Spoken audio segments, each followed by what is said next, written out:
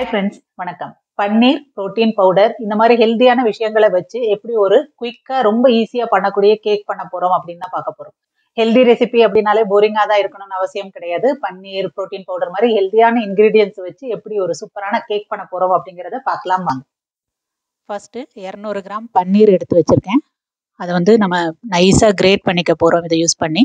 அடுத்து one point five scoops protein powder அது இல்லைன்னா நீங்கள் கோதுமை மாவு கூட எடுத்துக்கோங்க. அடுத்து டெசிகேட்டட் கோகனட் இதுவும் பைண்டிங் பர்பஸ்க்காக தான். ஜஸ்ட் ஒரு டூ டேபிள் ஸ்பூன் போட்டாலும் போதும். அடுத்து கட்டி தயிர் ரெண்டு டேபிள் ஸ்பூன் ஃப்ரெஷ்ஷாக உள்ள க்ரீம் ஹண்ட்ரட் எம்எல் இது பேக்கிங் பவுடர் பேக்கிங் சோடா ரெண்டும் சேர்த்து ஒரு டீஸ்பூன் அடுத்து கொக்கோ பவுடர் கொஞ்சம் யூஸ் பண்ணிக்க போகிறோம் ரெண்டு டேபிள் ஸ்பூன் அளவுக்கு எடுத்துக்கலாம்.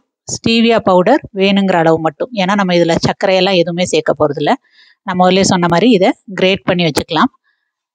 ஸோ குட்டி பூ மாதிரி துருவலாக பண்ணிக்கிட்டோன்னா நல்லா அது பைண்டாகி நல்லா வரும்.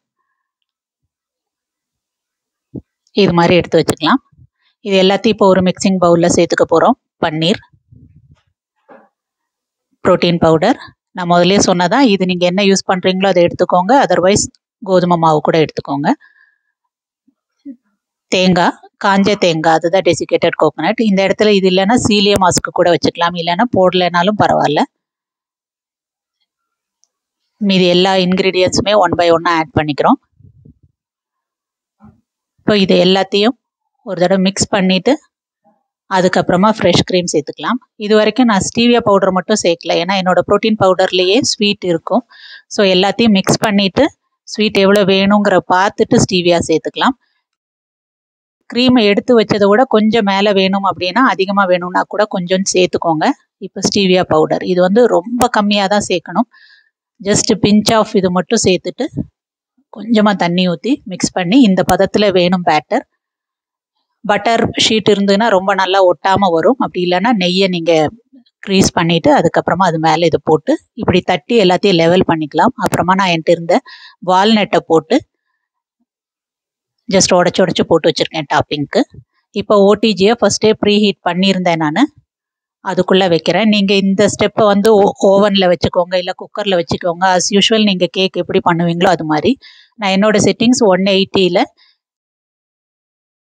டுவெண்ட்டி மினிட்ஸ் வச்சேன். சம்டைம்ஸ் டுவெண்ட்டிலேருந்து தேர்ட்டி கூட ஆகும். ஸோ இன் பிட்வீனில் நீங்கள் பார்த்துட்டே வாங்க. இப்போ ரைஸ் ஆகிட்டே வருது பாருங்கள் ஸோ ஒரு ஸ்டிக்கை வச்சு இடையில இடையில குத்தி பார்க்கணும். டுவெண்ட்டி மினிட்ஸில் எனக்கு ஃபஸ்ட்டு வரல. ஸோ அனதர் ஒரு டென் மினிட்ஸ் இன்க்ரீஸ் பண்ணி தேர்ட்டி மினிட்ஸ் ஆச்சு.